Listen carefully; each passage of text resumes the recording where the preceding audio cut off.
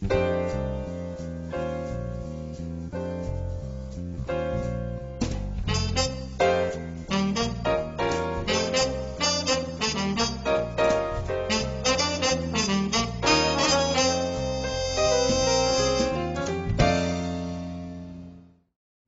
I would hope so. I mean, Hollywood, Hollywood only uh, distributes uh, less than 500 films a year. I think every year less and less. Um, uh, whereas the American independents make a thousand films a year, and um, at least a thousand films a year are made in South America.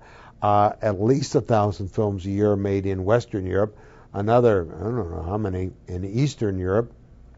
Um, uh, India makes a thousand films a year, the Chinese, and on it goes. And so uh, there's a lot of uh, filmmaking going on outside of Hollywood.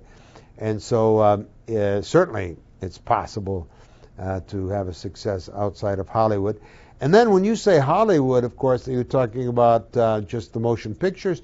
There's another half, or maybe even two thirds, of Hollywood called television uh, with hundreds of channels to be filled uh, uh, with fiction, nonfiction. I mean, the writing opportunities outside of uh, feature films uh, equally is enormous.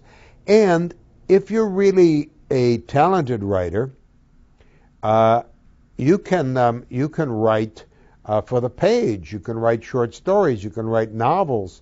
you could turn to the theater and write plays. I mean, I must say, the theater is really um, hungry for quality uh, playwrights. And so there's um, uncountable opportunities uh, for you as a, as a writer and storyteller outside of Hollywood. Hollywood is a, is a tiny little fraction of the world's uh, enterprise in storytelling.